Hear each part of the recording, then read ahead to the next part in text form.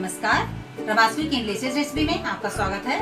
और आज हम कच्चे आम से गुड़म्मा बनाएँगे, जो खाने में बहुत टेस्टी लगता है और बहुत ही चटपटा लगता है। प्रवासी की लेटेस्ट रेसिपी को सब्सक्राइब करें और वीडियो की तुरंत नोटिफिकेशन पाने के लिए बेल आइकन को ज़रूर दबाएँ। तो आइए, इसे बनाना शुरू करते हैं। इसे बनाने के लिए मैंने लिया है एक किलो आम। मैंने कच्चा आम लिया है, इसे छील करके और रख लिया है। आप देख सकते हैं, हमने छोटे साइज़ के आम लिए हैं। अगर आपके पास छोटे साइज़ का आम नहीं है तो आप बड़ा भी ले सकते हैं और उसके बीच से कट कर सकते हैं। दो टुकड़ा, तीन या फिर चार टुकड़ा भी कर सकते हैं, लेकिन हम लोग इस तरीके से बनाते हैं। खाने में बहुत टेस्टी लगता है।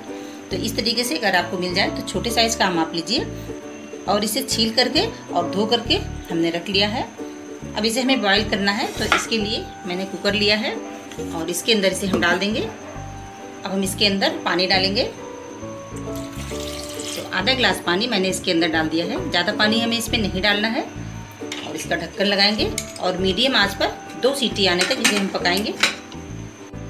दो सीटी आने के बाद मैंने गैस को बंद कर दिया था। तो आम को चेक कर लेते हैं।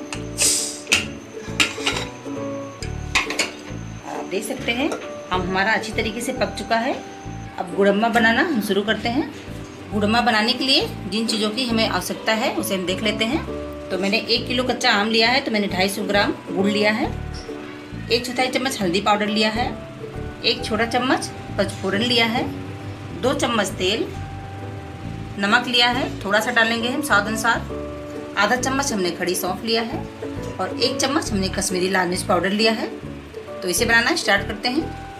इसे बनाने के लिए मैंने गैस पर कढ़ाई रख दी है और इसके अंदर हम तेल डाल देंगे और इसे गर्म होने देंगे। तेल हमारा गर्म हो जाएगा, इसके अंदर पचफोरन डाल देंगे और इस सौंफ भी डालेंगे। इसका फ्लेवर बहुत ही अच्छा लगता है इसके अंदर। इसे हल्का सा ब्राउन करेंगे।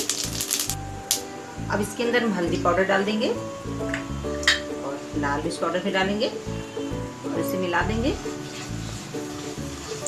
अब इसके अंदर हमें ये गुड़ डालना है। मैंने इसे फोड़ करके रख लिया है।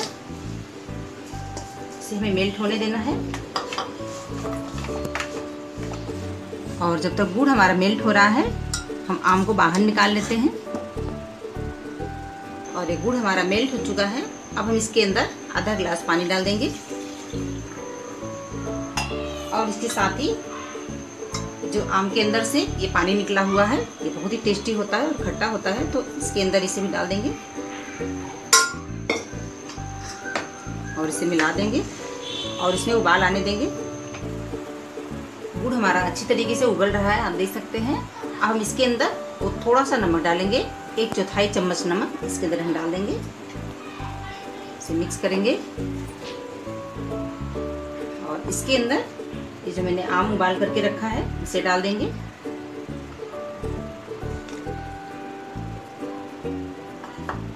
और इसे मिला देंगे। और दो से तीन मिनट तक हम इसे उबलने देंगे।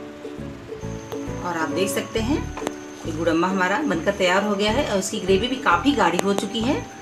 अब हमें ग्रेवी को और नहीं जलाना है क्योंकि खाने में बहुत टेस्टी लगता है। रोटी और पराठे के साथ ये खाने में बहुत ही टेस्टी होता है। तो इसे हमें अब नहीं जलाना है तो अब हम गैस को बंद कर देते हैं और इसकी प्लेटिंग करते हैं। इसे हम प्लेट में निकाल लेते हैं। और हमारा गुरम्मा बनकर तैयार हो गया है। आप देख सकते हैं, देखने में कितना अच्छा लग रहा है। खाने में भी बहुत टेस्टी लगता है। तो आप इस तरीके से इसे बनाइए और इसे बना करके ठंडा होने के बाद एक हफ़्ते तक या फिर दस दिन तक इसे फ्रिज में रखकर आप आराम से खाइए। इसे रोटी, पराठे के साथ खाइए। खाने में बहुत अच्छा लगता है। तो अगर आपको मेरी ये रेसिपी पसंद आती है तो अपने कमेंट हमें ज़रूर दीजिए और मेरे वीडियो को लाइक करना शेयर करना और मेरे चैनल को सब्सक्राइब करना बिल्कुल ना भूलें। तो फिर मिलेंगे एक नई रेसिपी के साथ। तब तक के लिए धन्यवाद।